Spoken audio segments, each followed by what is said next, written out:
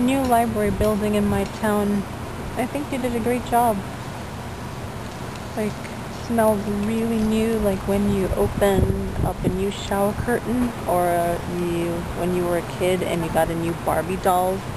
The library has that kind of scent. It smells awesome.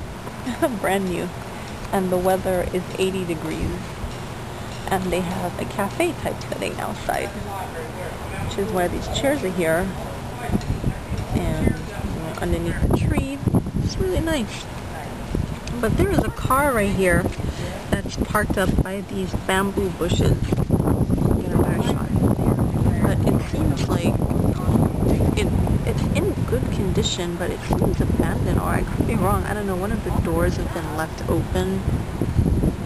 I don't know what happened if they forgot they left it open. I don't know if anybody's in there. It's kind of fishy. It's kind of too close to the bamboo tree. Also, kind of get almost crashed into the trees, but not with a hard impact because the um it, it would if it was hard those little skinny trees would have been knocked down.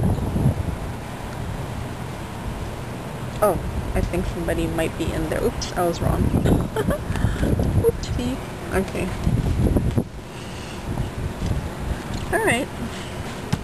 So this is downtown where I live.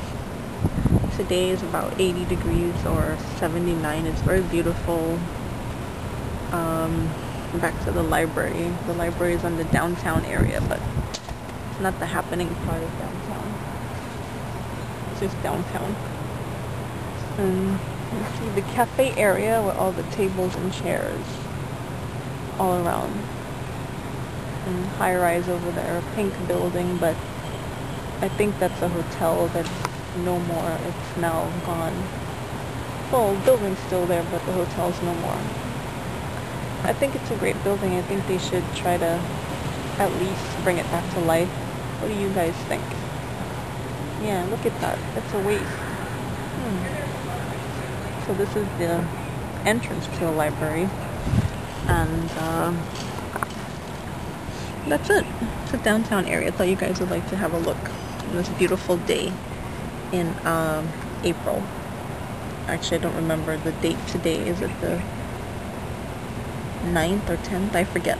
Well, something like that. When I put the video up, I'll put the actual date today. Alright, signing off. Bye.